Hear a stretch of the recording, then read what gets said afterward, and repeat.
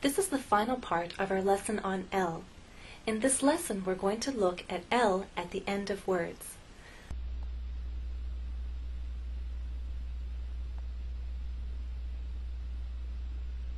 Let's once again review how we make the L sound. Now I want you to picture this inside your mouth. Here are your upper teeth. Here are your lower teeth. Behind your upper front teeth there is a hard bump. This is the roof of your mouth.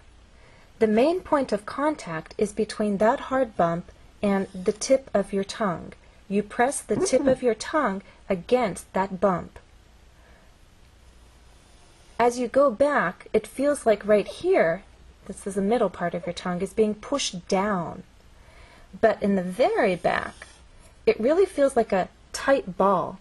Your tongue is very tense, very tight. It's bunched up, almost as if you're going to swallow the tongue. Let me finish drawing this for you. Okay? So try to picture that. This is L in the final position of words. Tip of the tongue presses against that hard bump. As you go back, it feels like it's being pushed down. And right here in the very back, it feels like it's being squeezed. It's bunched up, almost like you're going to swallow your tongue. Now this point of contact right here is especially important when L is in the final position. When L was at the beginning of words and then was followed by a vowel sound, we dropped our tongue down when it was in the middle of the words and we had to make another vowel sound or lead into another consonant sound, we dropped our tongue down. But in this final position, we're going to keep the tip of our tongue pressed against the bump. In words like call, call, as you finish the word, the tongue does not drop down. It stays pressed against that bump. We'll also look at words like middle, middle. This word has two syllables, middle, and the stress is actually on the first part.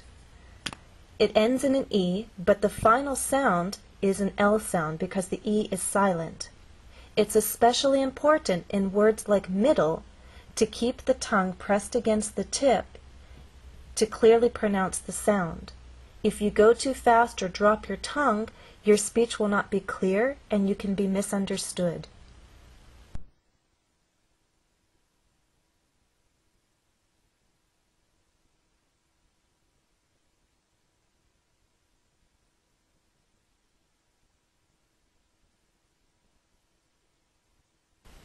Let's try some exercises.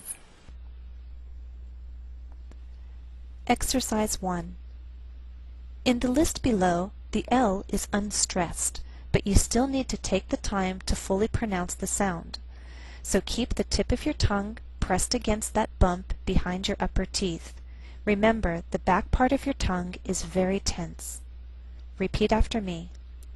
Pencil Final Careful Beautiful helpful, towel, oval, circle, triangle, table, little, middle, purple, puzzle, pickle. Exercise 2. In the words below, the final L is part of a stressed syllable. Let's take the time to pronounce the words and keep your tongue pressed against that bump behind your upper teeth. Let's say the words reading across from left to right. The vowels are all the same in each line. Fall, Paul, tall, wall fail pale tail whale feel peel teal wheel, file, pile, tile, while, fool, pool, tool, wool.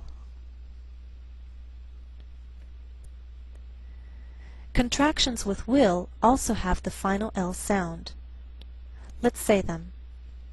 I'll, you'll, he'll, she'll, it'll, we'll, they'll. Sometimes L can be silent, so you have to be careful. The first five words listed below are very common, so let's take the time to make sure that you're pronouncing them correctly. Listen and repeat after me. Talk, walk, could, should, would. The yellow part of an egg is the egg yolk and one pattern in clothing is polka dots.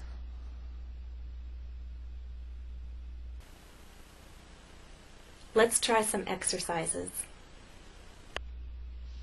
Exercise 3. Here are some sentences. Listen and repeat after me.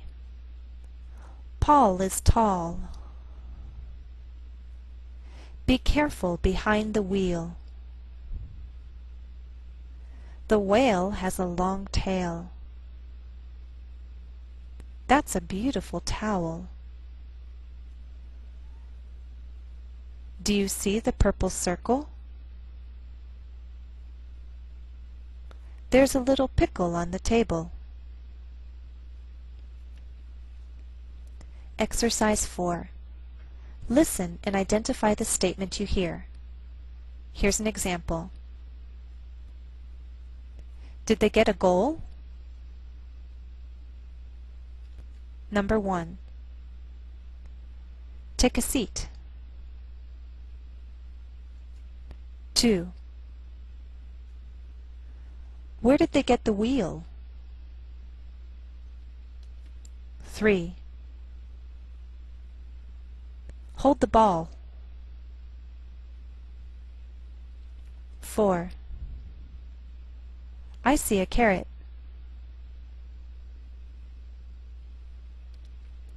Five. What do you feel? Six. How did you put it?